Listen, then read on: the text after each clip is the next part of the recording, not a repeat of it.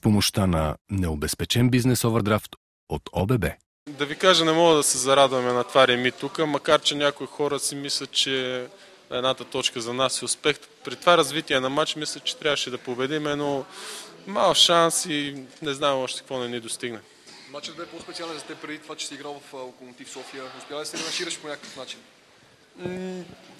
Не, не мога да кажа, че този матч или он е по-специален за мен. Много се радвам, че а, този път а, публиката, която беше ни подкрепеше и мене лично. И се радвам, че все пак а, отбора играе добре и продължава да показва добро лице.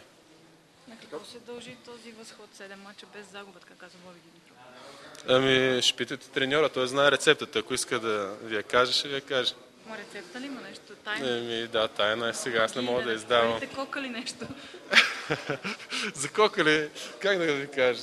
Играеме, тренираме усърдно и резултатите идват. Така че за сега мисля, че добре играем.